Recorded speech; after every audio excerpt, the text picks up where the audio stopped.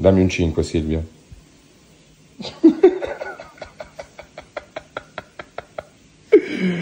Mio Dio.